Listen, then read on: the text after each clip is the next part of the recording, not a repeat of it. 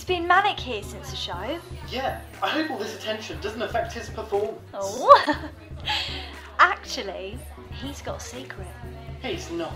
Is he? See that over there? Uh-huh. It takes care of business. It's doing it now. Shut up! Yeah. It sent 200 texts this morning so clients don't forget their appointments. Even lets him know which products aren't selling so we can slap a discount on them. Calling me cheap?